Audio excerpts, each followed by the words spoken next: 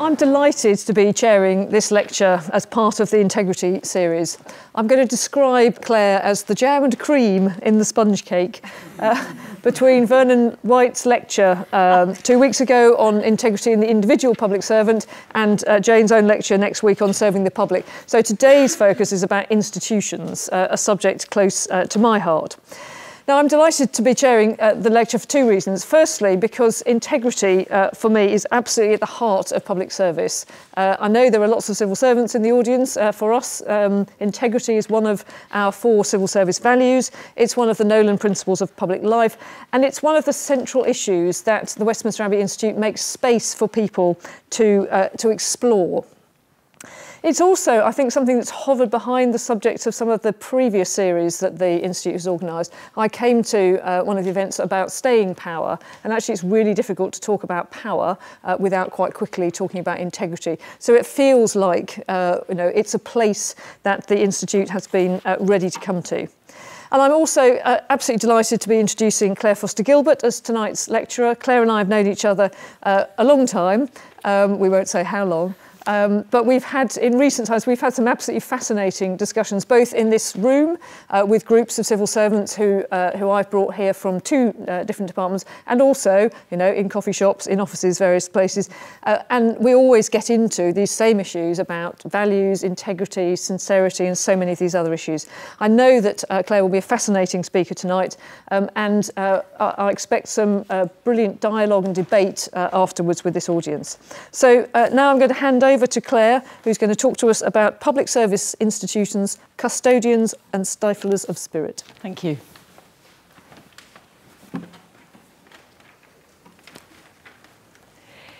Institutions destroy spirit. Without institutions, people would be free to thrive in their own unique way. In the following extract from the 1970s book by Peter de Rosa entitled The Bee and the Rose, any kind of inspiration in the worker bees is lost in the utilitarian demand to be productive. Bobby the bee has struck up an illegal friendship with a rose whose pollen he had been collecting. She challenges his deep seated, institutionalized beliefs. Tell me, why do you always travel in a beeline? Because it's the shortest way to go. Why can't you go by the longest way? But that's silly to go by the longest way when there's a shortcut. That's just where you're wrong, Bobby, Rosa insisted. Haven't you ever watched the butterflies? Why can't you be as carefree as they are? Surely you can see the fun they get by travelling backwards and forwards, up and down. What is fun? asked Bobby. Fun is doing something because you like doing it and for no other reason.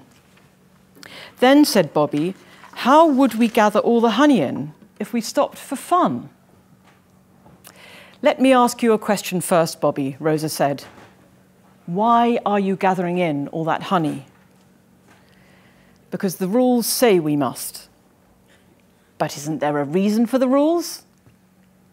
Bobby said, There must be a reason, but perhaps only the one, capital O, who made the rules understands it. Not very convincing, Rosa went on. I've been told that when your beehive is full of honey, everyone leaves in one great swarm and sets off in search of another hive, all colourless and empty. Where's the sense in that? You are trying to undermine my faith, said Bobby angrily. Except he remembered the doorkeeper's words that if he were pure of heart, he would never feel anger or emotion of any sort. Perhaps he was half enjoying Rosa's temptations. The actual name of Bobby the Bee was 15 stroke 753 because he was the 15,753rd bee to be born in the hive. He was given a quota of flowers to visit each hour, was not thanked for his work, even when he exceeded his quota, and did not expect to be. He was glad simply to be contributing to the good of the hive. he had been warned against all emotions because they interrupted the smooth running of the hive. But feelings stir in him despite himself when a fellow bee is injured and left outside the hive to die. And then everything goes wrong and right for 15 stroke 753 when he enters a rose to take her pollen, and she wants to know why he didn't ask her permission. That had never happened before. They start talking, and Rosa, for that is her name, gives Bobby his. Despite himself, he likes it, and his faith in the hive system is undermined from that point. He fails to achieve his quota, shouts, Love, love, love at his trial, and is outlawed. Shortly thereafter, the bee and the rose end their lives together, he resting in her dying petals as the summer draws to a close. However bright and enthusiastic one might be upon arrival in an institution to work, the institution can bear down upon you and stifle your spirit. I remember long ago when a new dinner lady appeared at my primary school. She was lovely to us, a warm, maternal presence in the dining room when we came for our lunch. Within a year, however, she had turned into a harpy, shrill, ferocious, unforgiving, and I still remember looking at her then and wondering what we had done to her. Much later, at another institution where I was working, I observed a steward change over time from likable to abrupt and forbidding, and I knew that the ethos of the department he was in had changed him. And I listened with interest to a young campaigner recently describe her interaction with an MP when he had just started and then 18 months later. He had turned from a friendly, slightly nervous, helpful, and accommodating person into one who was switched to transmit only, did not listen to her, and was in a tearing hurry. These were learned behaviours, at least in part learned from seeing how the others did it. I observe that in each case the behaviour is learned as a means of protection. This is what the group has worked out and this is what newcomers eventually succumb to. Being got at all the time is distressing and exhausting. So, how do you cope? You build a carapace, one made of crossness if you are a dinner lady, officiousness if you are a steward, and an impermeable public face if you are a politician. Ideas, as well as people, can be destroyed by institutionalization in the civil service exciting, lively, new, and internally incoherent political ideas and ideals presented by the minister to be made to work, of which a civil servant will experience plenty in his or her professional lifetime, will be swallowed into the internal sausage machine of the ministry and regurgitated as coherent, well crafted policies whose inconsistencies have been smoothed away. We know that policies, however perfectly well they work on paper, however well crafted their languages, do not always work when they are put into practice, when the frontline staff have to implement them, when, as it were, they come back to messy life in the hands of people whose complex circumstances confound neat solutions to housing, education, law enforcement, or borders defining identity. Like the administrations that drew straight lines across British Empire territories and named them borders, regardless of tribe or landscape, the neat policies of the rational intellect can betray an expensive lack of emotional understanding and the idiosyncrasies of local knowledge. This, of course, does not happen all the time, and civil servants now are only too well aware of the challenges of implementation and delivery. But it does happen usually in a bid to keep the minister happy and the elected government of the day apparently on track. There is an inexorability about the killing off of spirit or inspiration at the point of turning idea into policy. The process itself is murderous. something happens in the move from initial inspiration to policy that denies its human face in order to encapsulate in it something that is fair and rational and achievable, or at least countable. The benefit cost ratio that governs uh, policy development in the Department for Transport, for example, is an efficient and effective way of coming to conclusions about what the policy should be. But it means that everything that needs to be taken into account in the policy has to be made countable, capable of being turned into a number. As more seemingly incommensurable things are included in the benefit cost calculation, so the task becomes more challenging. How, for example, do you calculate and compare the relative cost of bi biodiversity loss in building new transport infrastructure? Or calculate the benefit of travel that is adapted to older people, not just the economically productive and physically fit? How do you turn values into matrices without killing them? I watched one such murder happen when I was involved with the Department of Health in the 1990s in creating a rational system of research ethics committees in health authorities, as we called them then. My inspired, as I believed, approach to making a moral judgment about the ethics of medical research involving human subjects was turned into a deadening system of bureaucratic requirements that switched off the researcher's moral sense as he or she had to hand moral decision making over to the ethics committee and switched it off in the ethics committees as each had to demonstrate it was making decisions consistently with each other. And how do you do that except with a matrix? The act of trying to ensure consistency and fairness killed the inspiration and liveliness of moral decision making as we created a system of ethics committees that avoided postcode lotteries. The process became a tick box exercise, precisely not what the original conception envisaged.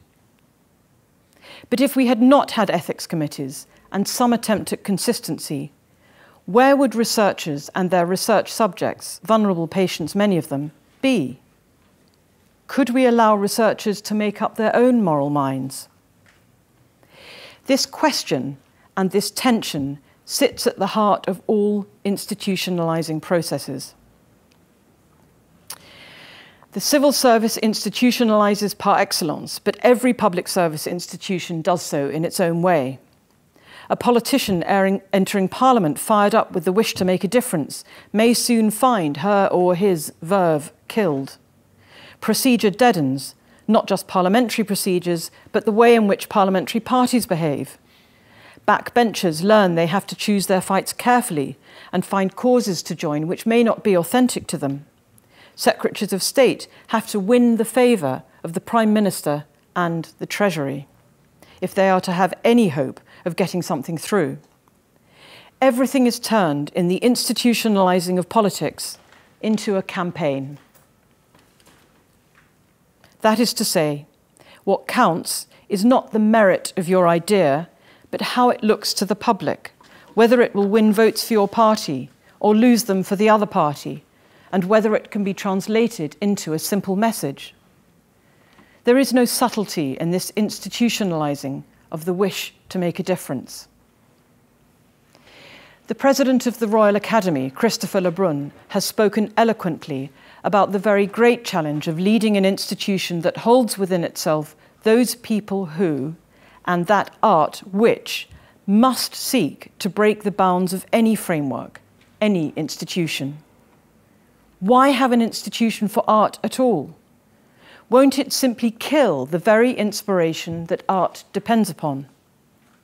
The Royal Society has a similar challenge by its very existence, asserting an interpretation of what science is and who is a scientist, when science, which simply means knowledge, must not be bound by an idea that we already know what knowledge is.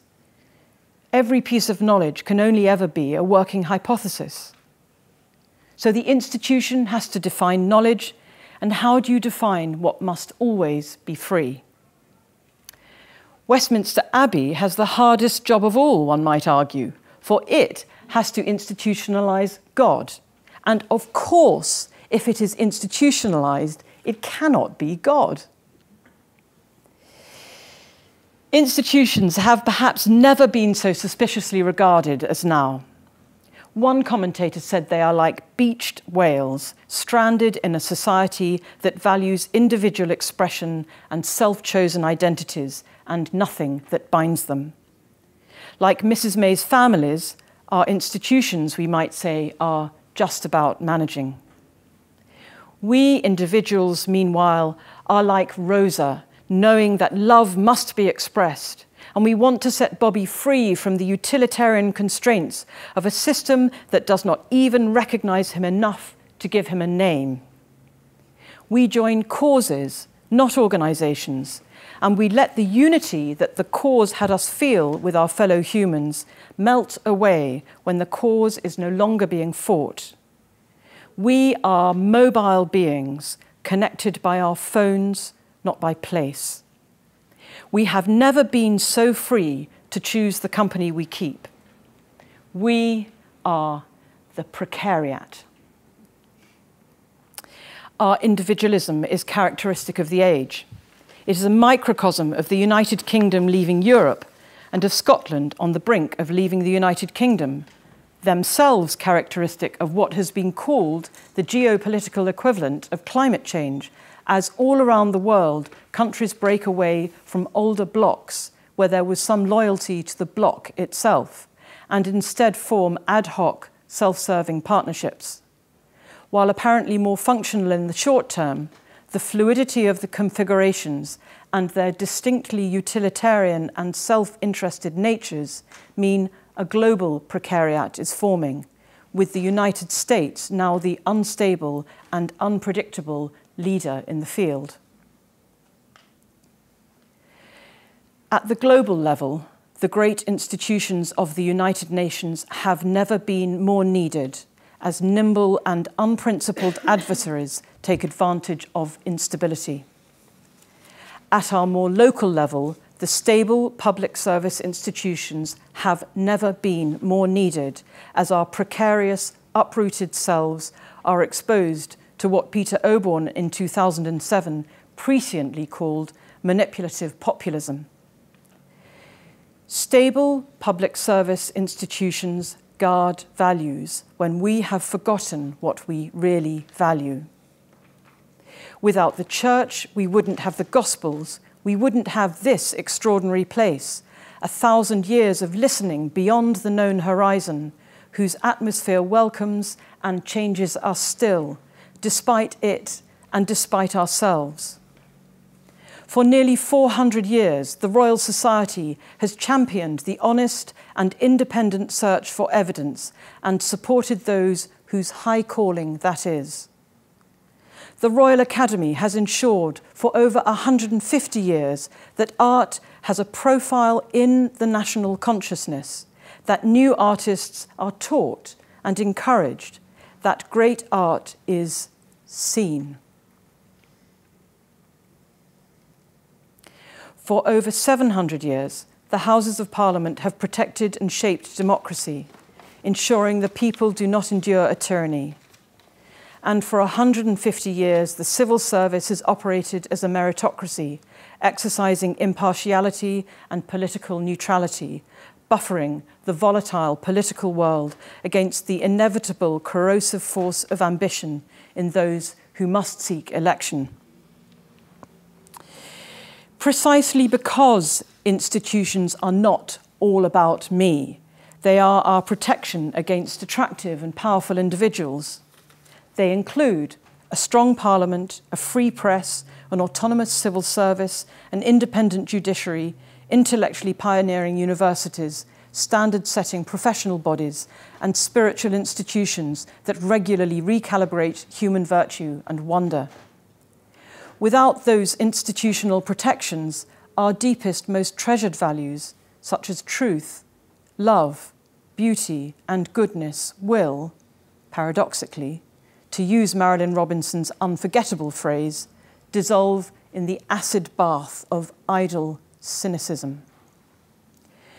Where else do we turn when we have forgotten what truth looks like other than to ancient institutions that were created, however fallibly, to be its guardian? It is a conundrum. Institutions threaten both the inspiration and the idiocy of individuals. So, what makes institutions effective? What ensures their resilience when individuals are weak from laziness or self questioning, while at the same time preventing those institutions from stifling individual spirit?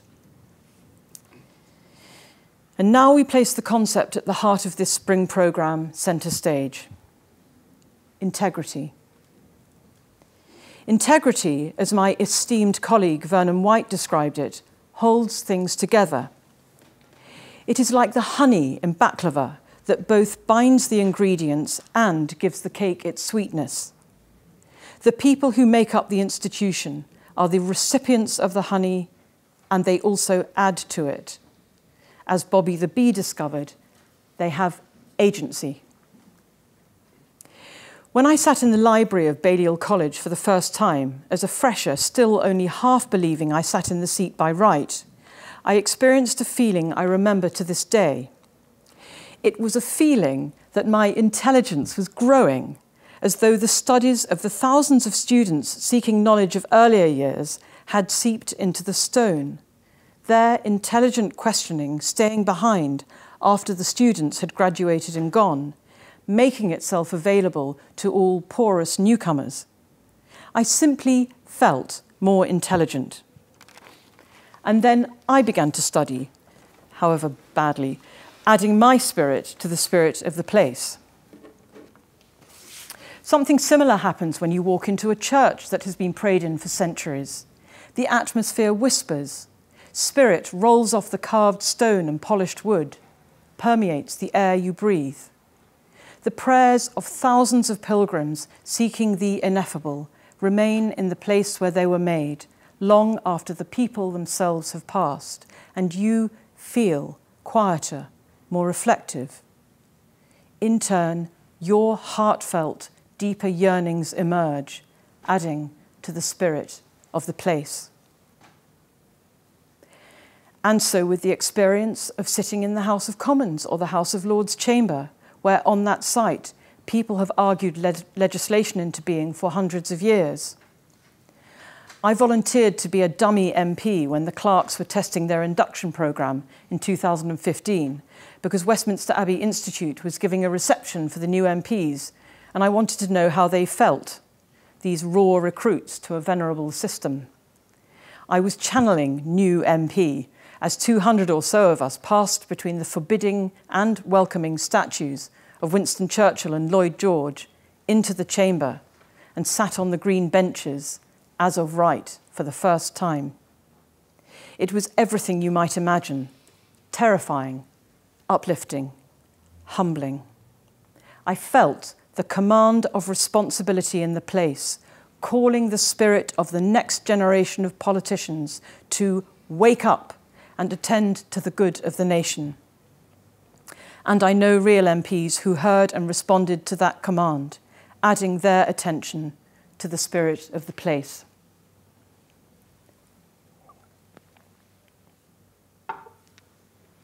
College, church, chamber, all call greatness of spirit out of the puny feeling individual who joins them, so that the spirit of the individual and the spirit of the place conjoin. A great institution could be defined as the place where the endeavour of all those who pass through leaves its impress, so that as the new soul enters the portals of an institution for the first time, both it and he or she are enhanced. The spirit of the place is regenerated by new additions, and the spirit of the person expands to realize greater potential and fulfillment. It was people who left their spirit in the places of learning, worship, and debate for the student, pilgrim, and MP to breathe in. And it will be they, in turn, who breathe out a new spirit that carries the integrity of the tradition, imbued with new life. It was civil servants themselves, having been paralysed by shock and in many cases grief on Friday, the 24th of June 2016, who came into work on Monday morning with their sleeves rolled up, readily sustaining the tradition of making new ideas work as best they can for the country. Don't feel too sorry for us, as one Home Office, office official said to me. We may not like what we're doing, unravelling 42 years of interdependent relationality with Europe, but we like the fact that we are here to do it.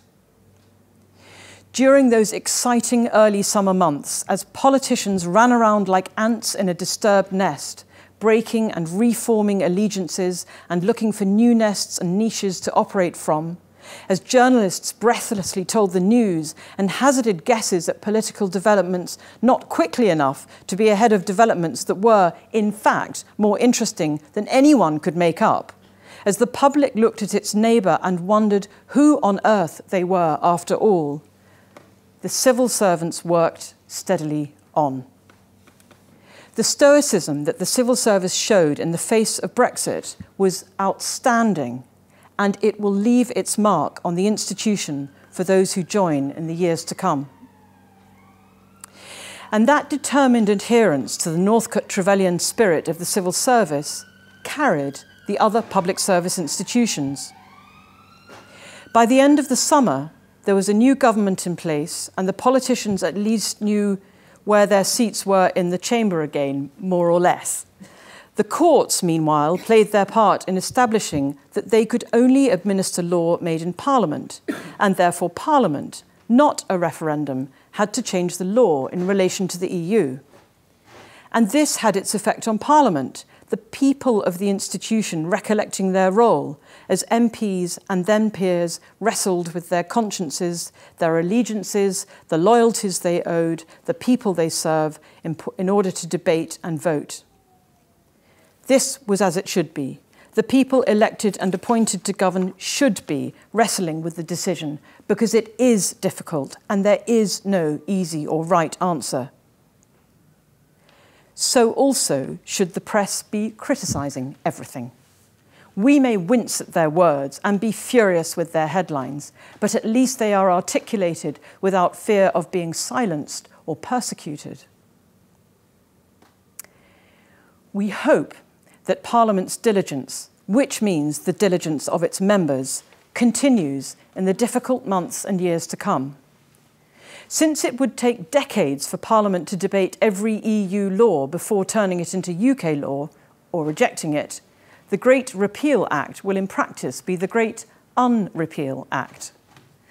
This will mean, unless some other independent regulatory instrument is created, that the discretionary power to apply modify or not apply the thousands of former EU laws will rest with the government, giving it unprecedented power.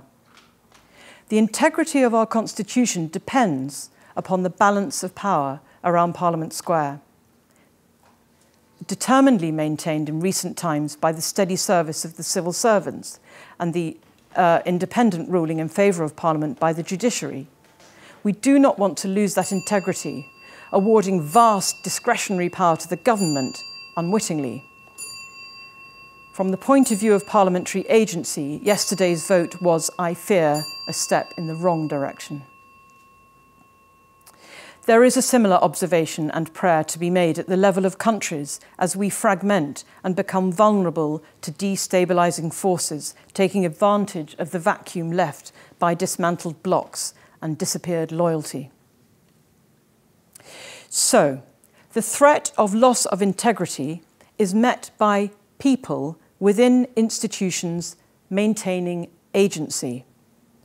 People within Parliament must assert their right and play their part in holding the government to account. Civil servants within the executive must assert their right and play their part in telling ministers how it is, not how they, particularly now, desperately want it to be justices within the judiciary must continue to judge without fear or favour. Academics within universities must defend the value of learning in the face of populist dismissals of expertise, and so on. We receive the spirit of an institution and we carry this responsibility to keep that spirit alive, perhaps never more so than now. To press the point about agency home, it is everyone in an institution who receives the legacy of integrity and shares the responsibility to pass it on, enhanced in value. Not just the leader, which traditional leadership courses have implied. What matters, such courses argue, and charge a great deal of money to do so, is that the chief executive has a vision. Such an approach necessitates charismatic leaders who are willing to spend inordinate amounts of time uh, communicating their version of integrity to their staff to persuade, cajole, or dictate them into sharing it. The vision is unlikely to survive when the head goes, and staff are then exposed to another version of the vision of the institution with the next leader. The head, him or herself, is vulnerable to over identification with a role and an institution, such that his own sense of who he is does not survive his departure either. The best guides to leadership argue that the integrity of an institution should be found, not made, in those who work there, but that the people should also be reinvigorating it, creating value, as Kakabadse puts it, by means of properly delegated and supported discretionary judgment.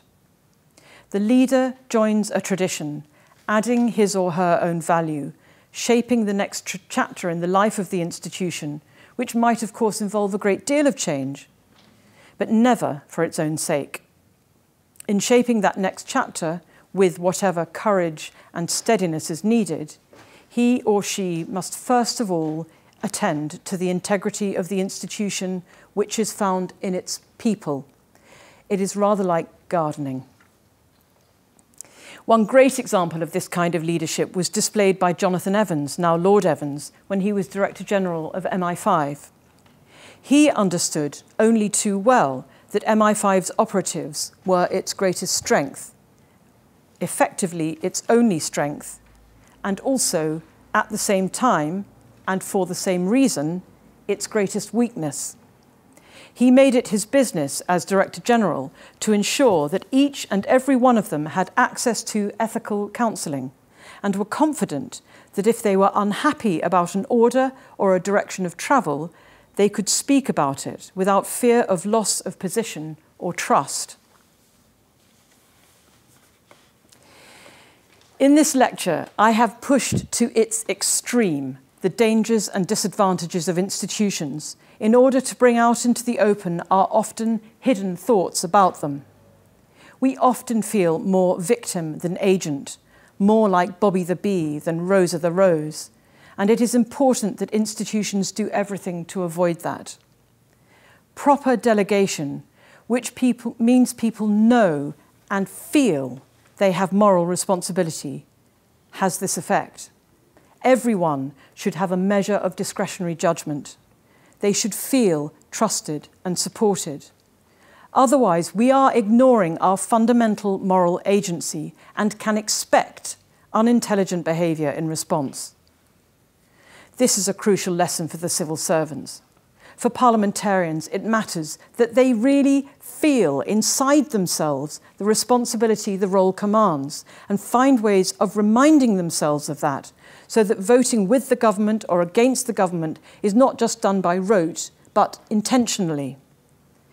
The Article 50 debates have certainly had that effect. Thank God for the judiciary, though yesterday's vote was a blow. But just as institutions need to be places where people's feeling of moral responsibility is enhanced, not diminished, so people need to remember the value and importance of institutions. Integrity means both.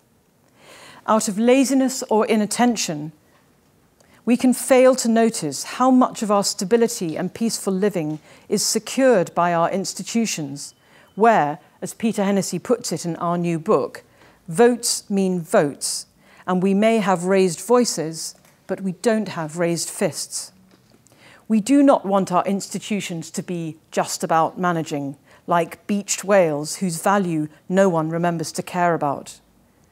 without active engagement with them, they are threatened. Bobby the bee did need the hive. He did need to contribute to the making of sweetness in the form of honey. He didn't know, and neither one imagines does the author, just how vital a part of a wider, stable ecosystem he was. I don't want to push the analogy too far, but one imagines the hive might have been a place where the bees served out of love, not out of utilitarian command. Yes, I know bees don't think like that, and neither do roses. And here's another unlikely conversation between a hen and a pig, discussing the difference between commitment and involvement. When the farmer has eggs and bacon for breakfast, they worked out, the hen is involved, but the pig is committed. Thank you very much.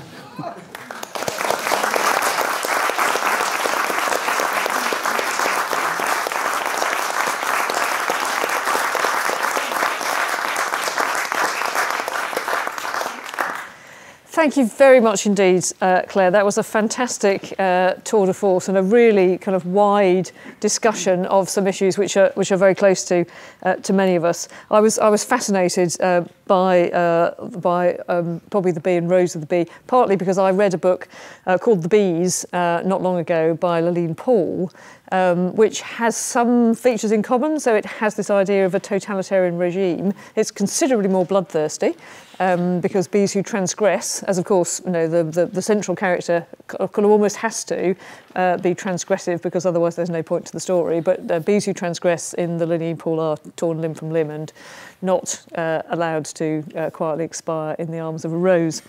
Um, but but uh, while allowing people a little time to kind of gather their thoughts and, and uh, think about points you'd like to make and, and, questions, I just wanted to kind of reflect back two things. One, uh, which came through as a strong uh, thread uh, for me, was about uh, you talked about agents and victims, and just thinking about the route to agency. Um, for me, the route to agency is almost always about bringing things to the open, into the open, and talking about them. So the, one of the central issues for me in the in the story about uh, Bobby was, you know, the rules were the rules, and nobody knew where they came from, and nobody ever talked about them. They just were. And if you, uh, again, your example about uh, benefit cost ratios and uh, the infamous WebTAG, uh, which Graham will be familiar with. So the tendency in government to, to try and translate things into uh, you know, ways that we can put them together and, and come up with some kind of numerical uh, value. One of the real insights uh, for me of the first session that I brought people here for was the realization that the important bit of a benefit cost ratio is not the number, it's the moral and ethical judgments that go into all the bits that actually become hidden in the wiring. The really interesting element is how we, uh, how we implicitly or explicitly uh, you know, value some things more highly and some things less highly. And, but, and that will always be a part of the system, but I think the more we can talk about it, uh, the less likely we are uh, to fall into the trap of, of thinking it's, um, it's kind of not there. And the other thing that really struck me was uh, your, your very powerful idea about uh, you know, integrity being kind of in the fabric, gradually soaked up by the fabric of uh, buildings and institutions uh, that we operate in, and then you know, fed back out to uh, successive generations. You said everyone receives integrity and is charged with adding value uh, to it and passing it on. So that so I had a really strong kind of visual image of, of the integrity of an institution being, you know, a physical thing which was passed from hand to hand, not in a reverential, you know, it must stay exactly the same way, because the whole point is it has to be uh, added and changed, but it, it is there, there is that kind of thread of continuity. And I just wondered what were your reflections, and that's the kind of the, the institutional integrity meets uh, the individual integrity um, that uh, Vernon White talked about in his lecture. When you're thinking about, you know, as an individual, what does it mean to have integrity? That feels instinctively slightly different from that kind of idea of, of, of integrity as being a thing. I don't know if there's if you've got any um, initial thoughts, and then I will, uh, having given people enough time to think, um, open the floor. Just say that last bit again? Uh, it's, it's the, the interrelationship. So, so you know, uh, when you think integrity in the context of an individual uh, is very much about you know how we behave, um, and uh, no, we characterise uh, integrity as being the opposite of hypocrisy. Now, hypocrisy, saying one thing and doing another, uh, is quite you know that is something which civil servants quite often need to do for perfectly good reasons to do with being civil servants and operating in our environment. So, integrity for individuals mm. is quite a is kind of one sort of it's a challenging question about what do I do on a day-to-day basis. Mm. Integrity as the institutional in a sense, the institutional heart, it feels slightly different, but it, it must join up at the back Indeed. somewhere. Yes, so I, I, I mean, of course they join up, otherwise it wouldn't be integrity. And I think you're very good at saying to your people, bring your whole selves to work. Don't leave bits of you, yourself at home because, because it matters that, that you do that, that you, you as a whole person are at work. I think it's also, uh, for me, it's, it's also very telling that integrity isn't something you can have all on your own. It's always something that's fed into and gives. In other words, it's porous, or yourself is porous. It always is porous. We're affecting it. I mean, we're affecting each other at a chemical and biological level just sitting in this room. But we will, we will go out of this room in some way slightly changed, and we will have given something to the conversation or the public conversation about integrity just by being in this room tonight. Um, so, and, and, I, and I think, and, and Vernon certainly talked about this, the, um, the danger of thinking that integrity is something, it feels like it's something that you're much better at having if you're all your, on your own and not messed up by other people or trying to do things with other people. Um, but, but actually, all that is is self delusion, probably. I mean, even, even the hermit who goes away and says, Well, like, you know, I'm going to live apart and not not have a big ecological footprint and not be dependent on others and just commune with God or whatever, still has to eat and be clothed or sheltered in some way. And there's always some sort of interaction.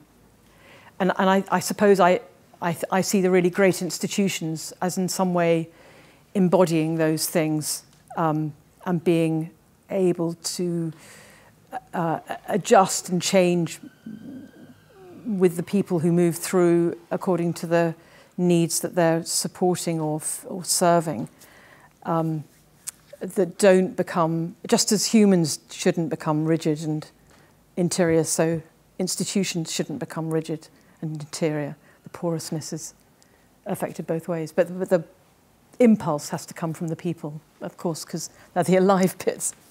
Lovely, thank you. So, um, do we have any comments, questions? Graham, thank you. Good evening, everybody. My name's Graham uh, from the Department of Transport.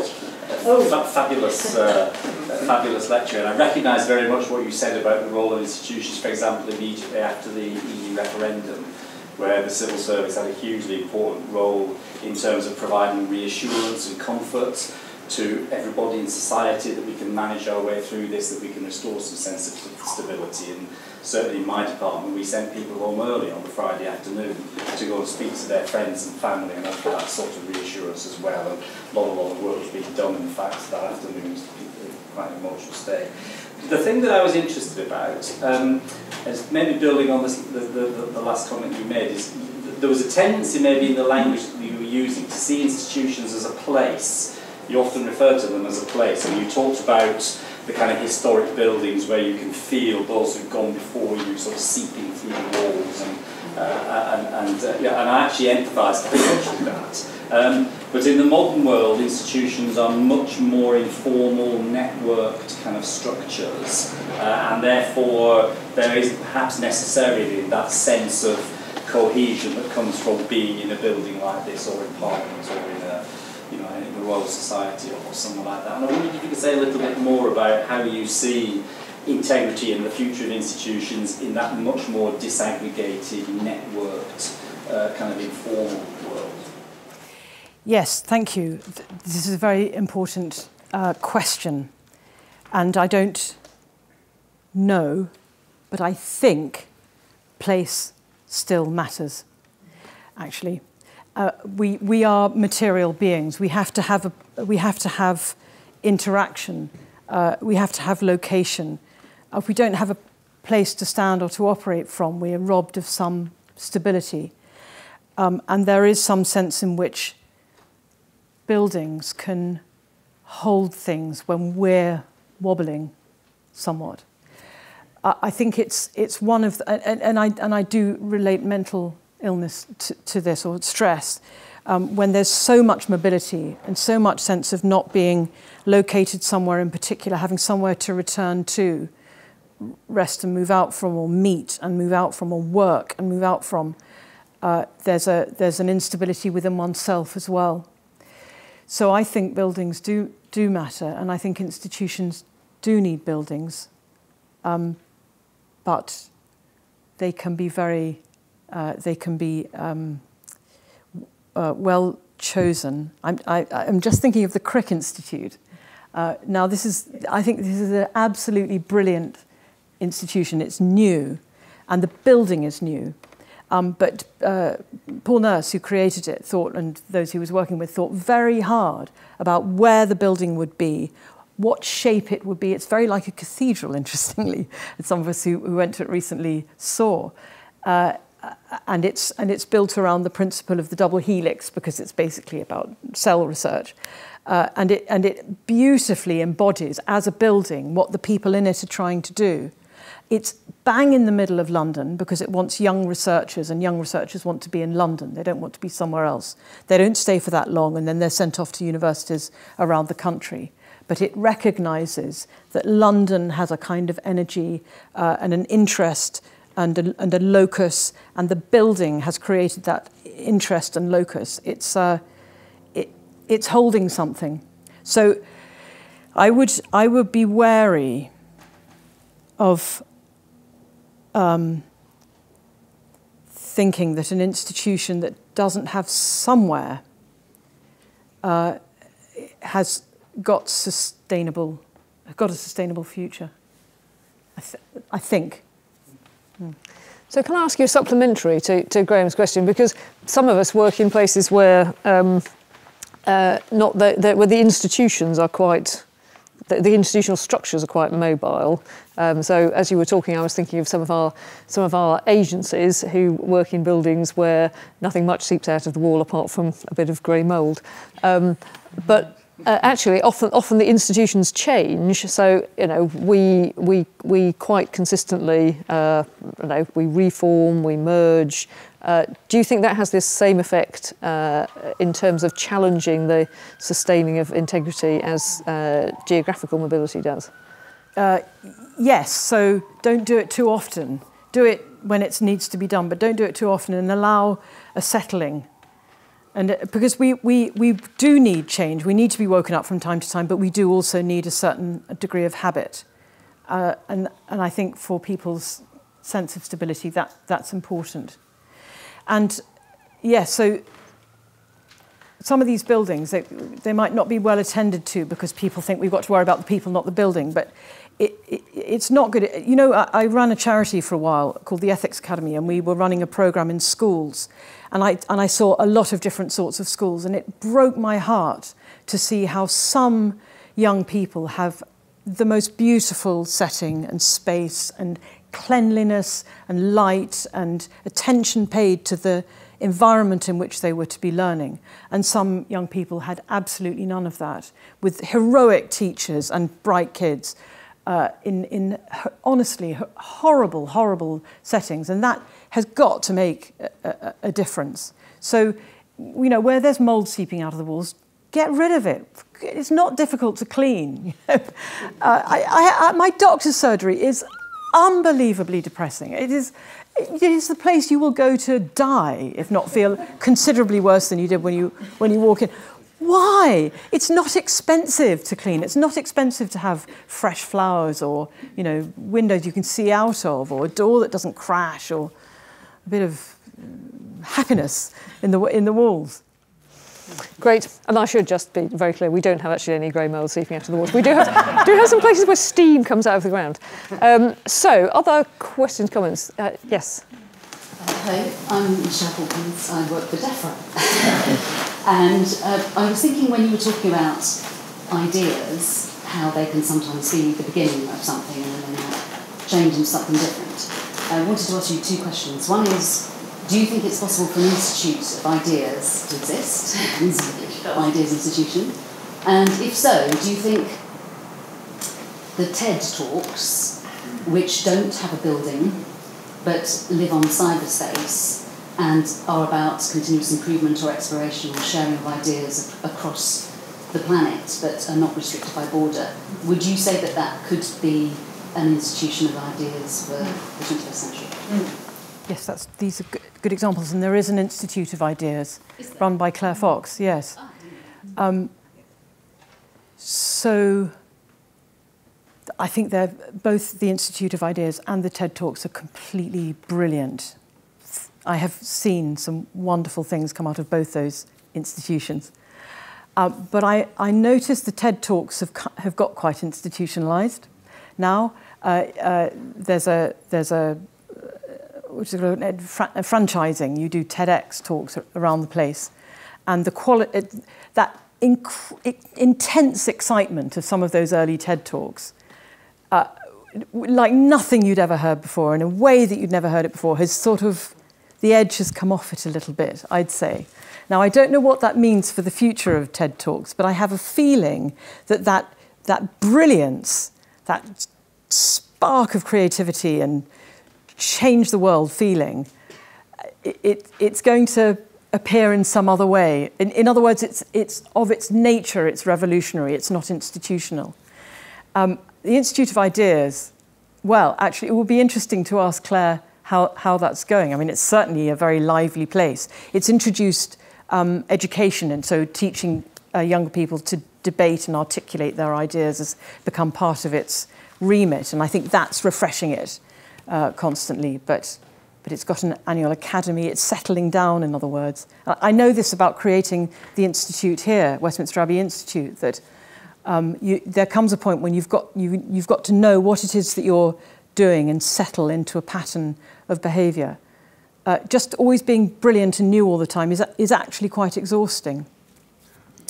So, uh, yeah, I, do, I don't think they're sustainable actually, just in that, in that so kind of. suggesting that TED Talks might be losing their integrity. I do, actually, yes, I do, I do. They'll, someone else will, something else will come. Someone will do something else that's extraordinary. We'll, we'll all be emailing each other saying you must, or whatever we're going to do in the future. I don't know. Uh, you must, you must uh, watch this talk or listen to this thing or see this thing. Um, but I, I suspect. Well, it'd be interesting to see what happens with TED. It might turn into, I mean, probably the Royal Society of Arts, uh, whenever it started, was something like that. The church was something like that, wasn't it? I mean, everything, and then it decides what to do with itself. It settle down or, or disappear. Um, think tanks are like this. They have their moment, don't they? And then they become a little bit less exciting. hmm. Right, I'm going to come back to John because we're, we're at risk of DEFRA overload at the moment. Um, gentleman here. Thank you. Um, my name's Nigel Thorpe.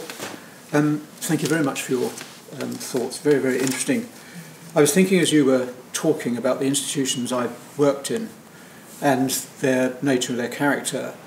Um, they have a population inside them which uh, is different. It's not all. It's not uniform. There is a big difference between those who form the main corpus of an institution and who stay there for a long time and soak up its values and its integrity, and those who come rather fleetingly usually to the top of the institution, and move on. They come from outside. Uh, they bring a different set of values to an institution, and they have, have the capability of, um, of undermining its integrity, or so it seems to me. And I would argue that we are seeing some of that at the moment in our great institutions, and you see one or two people reacting to it, such as the resignation of Ivan Rogers from the ambassadorship to the European Union and maybe what happened in the House of Commons yesterday. Um, there is a vulnerability there in that relationship which seems to me to be quite dangerous. Mm.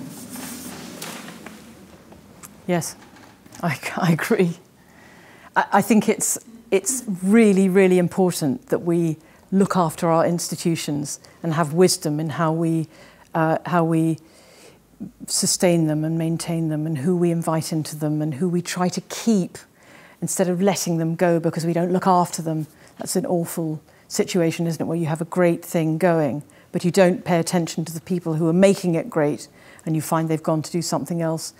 Um, yes, ideas, uh, uh, and, uh, and I think old public service institutions can be a bit prone to this idea that it's all done much better in the private sector, so let's haul in that lot. You know, they're, or, by, by their very nature, they're more efficient and, and, and effective and uh, whatever, clear about what they're doing, and, and, and, and things get interrupted.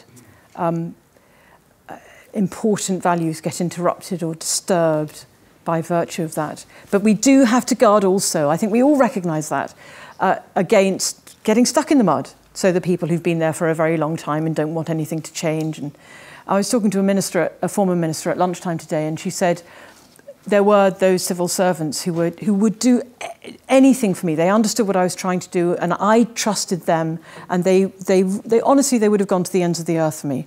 And then there were those who just didn't want to be disturbed too much. They came in, they did their work, they went home, and they didn't want any uh, uh, exci excitement, any drama, uh, uh, uh, and they they weren't helpful. So you don't want too much excitement in the civil service, but because it, its, its stability is, is, is based in its being a de-dramatizer. But, uh, but the idea that that, um, yes, but, but, you, but you don't want to get stuck, stuck in the mud either. We, we have to stay awake in ourselves. We have to find ways of staying awake in ourselves. And we, we do fall, we do just go into habit. You know, that's, our way. Uh, and, and often for an easy life. And if you've had a great idea and it's been knocked about or you've, you've taken responsibility something and you haven't been supported, that can have its effect not just on you but on the institution. And I hear these stories within um, government departments as well, where something's happened, someone hasn't been supported, and the whole institution responds and you end up with a, an ethos of caution. Uh, and it takes a while for that to shift. Lady at the back. Hi, um, thanks so much. That was incredibly inspiring. And I guess following on from that question, really, um, I guess another enemy to integrity is cynicism, which we can see in any large institution. But I wonder how we can counter cynicism and whether having a, a graded structure in the civil service and possibly a lack of agency arising from that contributes and what we can do about it. I think the other Claire might answer that. What, what's the effect of the graded? Why do you na name the graded system? As a I, I guess that's possibly one. I was thinking about agency, and if you're in a graded structure and perhaps don't feel that you, in your grade, have the agency to to challenge or to come up with an idea. Obviously, there are areas where that can happen and happen really well, um, but I guess it's just on thoughts does our grading structure in the civil service contribute to a sense of agency or a sense of lack of agency? It can do both, can't it? I mean, you want to, you might, you, pe people do want to look up and move up and see people who've gone before them and learn from people who've gone before them. Uh, and in a sense, know if you're new or junior, you do need to learn the ropes. You do need, you do need to be in your more junior place and and then, and then it doesn't devalue the currency of the more senior position apart from anything else. Um, but but that's, the, that's the genius of a, of a well-run institution is that, that the discretionary judgment, everybody has a measure of discretionary judgment appropriate to where they are in their experience and ability and so forth. And, and also, one, one surely has to earn the trust within an institution that you won't abuse the discretionary judgment that you're given. So the relationship is on both sides. It really is on both sides. It's not something that's given to you. It, you, you, you actively receive it and participate in it. Um, so I don't think one can say it's that thing which causes cynicism. I think cynicism comes from, uh, well, it has, it has many causes, but, but one is if you've been coming, you've come to and, to and wanted to make a difference, and you keep on being battered back and keep on being battered back, and eventually you say, well, I've just got to pay the mortgage, and you know, eventually you get my pension, so I'll keep going quietly and keep my head and it's and, and there's a and there's a kind of bitterness about that that can seep out. It matters. It needs to be attended to because it seeps out. And this is what I saw in this department where the steward had turned so ghastly. He was such a nice fellow when he arrived, and there was something about the department. It was a kind of poison that got into him, and then he was displaying those behaviours within a year. And, and actually, and that was the bigger question. Sorry, rather than focusing on grading, what what can we do about cynicism, and do we need more vision? How do we inject that in? I'm always wary of the word vision. Yes. Uh, what's the vision? Yeah. You, what you have. So for yourself, you think what I feel cynical. I feel. What, so you think what's where's the fire in my belly? What ignites the fire in my belly? And am I in the place where that fire is ignited enough to keep me not cynical, but, but intentionally engaged and, and contributing. Uh, and it might be that one has to move. And I think it's for uh, leadership within an institution to ensure that um, people's bellies are set on fire regularly. Honestly, we have to care about these analogies. Or, or uh, gardening is. Let's go back to gardening. gardening tending so that the person feels that the growth is there that, that, and it's not going desiccated and dry. Um, I'm just think, now thinking about politicians. Um, so I think the, the thing that can happen to a politician is, so there was an interview with Mhairi Black, wasn't there, uh, in, the, in the news recently. She was saying, I can't get anything done here. And she's a 20-year-old, you know, it, it, and the procedures in Parliament are extraordinary. But they do, most of them, have a good point. And you start to see that after a while there's a kind of maturity of, uh, and I uh, say that advisedly, I suppose, thinking about it. Uh, you understand why things happen the way they do, why your, your great bursts of inspiration and wish to make a change are, are dampened down a bit. We, we, do have a, we do have a good balancing system here, and it, but if it makes you cynical, then you're probably in the, you're probably in the wrong place. I think it's pretty good what we've got. It's I wouldn't change the, the institution, I'd look at oneself.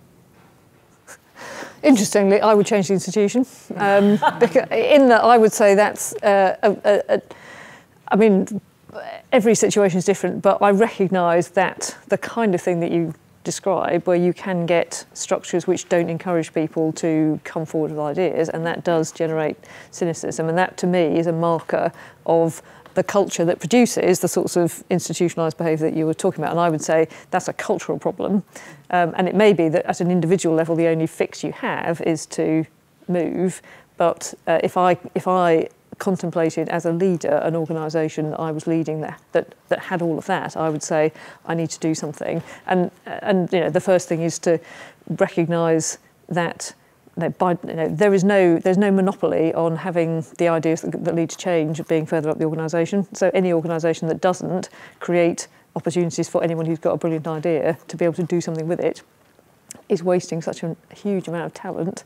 And then the talent, you know, un, unfulfilled talent often turns to cynicism. So I think it's a, so I think it might be an individual solution, but I would say it's an institutional yes. problem. However, um, I'm not here to tell you what my views are, really. Uh, now, John, I will give you. Uh, so John Fitzpatrick, I'm a de-dramatiser, otherwise known as a civil servant, and had Claire not give the game round and said I'm about to join Cabinet Office, so, so and people didn't know that I work for Claire at the moment. I'm from DEFRA. Um, and my, my question, I should say, I thought that was a really, really fantastic and thought-provoking lecture. It felt like there was a, sort of an essay behind every sentence, so this just uh, pinpoints on, on, on one aspect of it, really. But we live in a much more, I would say, diverse society than that which existed 50, 100 years ago. And it's also a society, I would say, that um, is less deferential to institutions just because they are themselves institutions. And in that context, I just wondered uh, about your thoughts in terms of can institutions, our main institutions, uh, maintain their integrity um, if they don't reflect the diverse society that we have in the UK. And there, there were two thoughts behind that really. One is I um, do quite a lot of work on social mobility in DEFRA and beyond, and one of one of my thoughts always is actually the creation of ideas is better um, the, the more diverse um, group you have generating those ideas. Um, and then the second uh, point behind it really, which was you, you, you touched a bit about Brexit and, and what's happened since the um, referendum. And I just wondered if there was a, maybe a distinction between sort of an intellectual integrity, where actually um, a, a, really good, powerful case can be made, but there's a dislocation between that and sort of a, a moral, if you like, integrity, which is, is a different case that wins uh, wins the argument. Um, and, and I just wondered how much that reflects back on how um, inclusive our main institutions are. Hmm. Okay, so, so the point about uh, diversity within an institution is extremely well made. I think uh, the analogy from uh, ecology is, is, is right, that, that our life depends on diversity of species. Not one species and another species and another species, but all of them and the mixture of them. Without that diversity of species, there is literally no life. That's the biological reality. And similarly, a society that doesn't regularly inject itself with difference becomes dead. This is another way of avoiding things like cynicism and desiccation and so forth. And, and uh, this uh, author Kakabadse, whom I referred to earlier, I think he's, he's very good on this question of um, leadership and, and healthiness in organizations, also talks about diversity of thinking and you, you, you need to make sure your thinking is, is diverse. And that means you have to expose yourself to difference. Travel, meet people you don't normally meet, just anything to make sure you don't, you're not in an echo chamber, this overused phrase that we are in because of our social media. Use social media to make sure that your thinking remains diverse, not, not to make, make sure you just talk to people who agree with you. Uh, and, and, and you need to you have to do that intentionally. It won't happen on its own because you can think you're having a really fantastic conversation and you discover that you're just talking to people who, whose opinions you share and you know, there's a bit of tinkering on the edges, but, but actually you're not being challenged at all.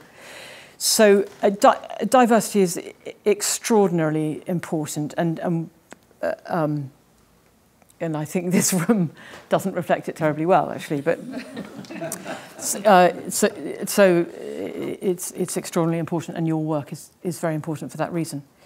Um, the question about uh, intellectual and moral integrity. So I, am not quite sure if this answers your question, but the thing that uh, upset me a great deal about the Brexit debate prior to the referendum was that I could hear nowhere um, uh, arguments from un unselfishness.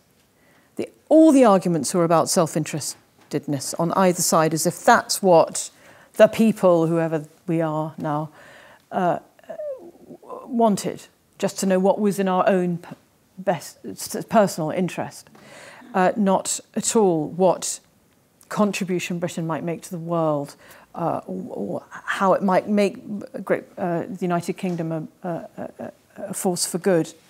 And, and we were listening, we had a, a, a seminar last Friday for Department for International Trade, and we were listening to someone from the Foreign Office talk about how, in his work around the world, how Br Britain has a reputation for leadership uh, and involvement pretty much all over the place and all sorts of partnerships, formal and informal. It's, it's sort of in there, playing the game, trying to uh, promote peace around the place. That's its reputation. And the, and the vote the, turned us in a different direction as far as the rest of the world was concerned. And he has been working very hard and colleagues to say, no, we're, we're not going to change. That's not going to stop. We're not going to stop being interested in the rest of the world and playing our part in the rest of the world. But it's an argument that has to be made. Does that answer your question? Uh, yeah, it does. Great. I'm going to take, so we're coming to the end. I'm going to take uh, two more questions. Did you have a question? Well, or was it already been? I think part of the point that the gentleman before me is making about younger people and whether they, to put it a slightly different way, have they got the ingredients that is compatible with integrity of the institutions that we have created and continue to create? Or do we have to create new sorts of institutions that reflects mm. a change in the way that they perceive yeah. how to deal with things beyond them. Yeah. Thank you. And that, sorry, yes, John, that was the, you, you were making that point about deference towards institutions and how people feel about them. Uh, so, uh, young people are young, so they need to learn, obviously. uh, they don't know best that that's a it's a funny it's a funny kind of assumption that we make that you know listen to young people and do what they say. you know that's not always the wisest thing, but it, but it's also true. Uh, first of all, the freshness and the energy of the young is of course always always needed, and we do need to listen, even if we don't necessarily do what we hear. Uh, I think it's very good that people aren't deferential towards institutions just for the sake of it, just as it's very good that people aren't deferential to um, uh, in particular kinds of individuals because of their titles or where they were born or whatever anymore. We have to earn our place at the table, uh, uh, the institutions and, and, and the people. So that means uh, re-envisioning, re-understanding, reimagining how we respond to the needs that the institution is there for and how the institutions can be um, porous to and include younger energy as well. So it's a, it's a kind of intelligent process, it seems to me. Porous, intelligent process. Is the next generation slightly changed, though? I don't in know. In a way that makes them incompatible. I'm not, I'm not saying I Yeah, believe that, but I, I just know. wonder whether we need to rebalance the relationship. I, so, uh, look, always, we always need to look at ourselves and see if, if, if we should be more, uh, d- d- we should always respond. Al- Always. But I'm quite sure our parents really, really worried about us and thought we were just useless. And, and, and I was listening to Peter Hennessy because we had this dialogue, which is in, in the back of our book that's coming out in June. Do buy it, The Moral Heart of Public Service. Uh, and he was saying uh, that the government simply did not believe that the people of Britain would cope when the war broke out on the home front. Because it was such a, the depression, it'd been through the depression, everybody was cross with each other and hated each other, and there was no neighbourliness and no, and, and of course people did respond amazingly. So we, do, we have to be a bit careful that we're not simply, as it were, repeating what older generations always repeat about younger generations. Actually, but the other thing I think I want to say is, on the contrary, not change institutions to be more like younger people. It is to have some kind of stability and place comes into this with young people who are being driven literally mad by trying to run 20 different conversations on 20 different platforms and keep up in goodness knows how many ways. It, and it's all coming home with them and it's in their bedrooms at night and they can't get away from it. And it's, and it's a extraordinary kind of mobility and lack of stability and lack of real solid friendship uh, that they're feeling that I think, uh, uh, not in a rigid way, but in a steady return to me way, we can manifest and should manifest I'm for them. struck by my children showing the integrity they do, despite everything. It's, So I'm, I- I'm very conscious that we are we are really timed out. I'm going to give one last question to uh, someone at the back, um, and then there is I think there is an opportunity for Yes. uh, kind of general dialogue to continue. But I'm conscious that people have been sitting here for quite a long time, and Paul Clare has been answering questions for really quite a long time. So, last question to you. Do please stand up. Thank you. Um, my name is Amelia Tudor-Bulish and I work in the Department of Health. Um, I was struck by your point about the perception, the public perception of public institutions. And I've kind of always found that I'm constantly amazed by the integrity and the spirit of the people I work with, but that that doesn't necessarily translate into the document that goes out at the end of the day. And I was wondering if and how you thought it was possible for public institutions to convey their integrity and spirit. Well, I, I certainly think it needs to be considered. There's a, there's a kind of self belief here. Really know your own. Uh, if you see integrity in your colleagues and in yourself, own that. Know it's true, even if everybody around you is not necessarily seeing that. Um, and also, there's nothing like quietly correcting people. I, I mean, the, the number of perfectly intelligent people who say to me, oh, all those MPs are rascals and got their nose in the trough and oh, don't, actually they're not rude about civils. People are very nice about civil servants on the whole. I think you're, you're very highly regarded and your integrity is, is respected. Um, but there is, a, there is a very lazy narrative and it does need to be con- contested, but not, not in an angry way, but just out of a knowledge that, it, that actually there's a tremendous amount of, as someone put, uh, this former minister at lunchtime, unchanneled good around the place, uh, and channeled good indeed.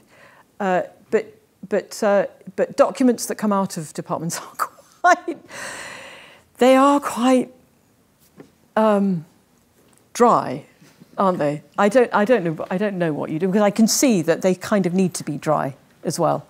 So I, I, I, I think it is a conundrum, but it's one that we can stay alive to because the people who write them are not dry.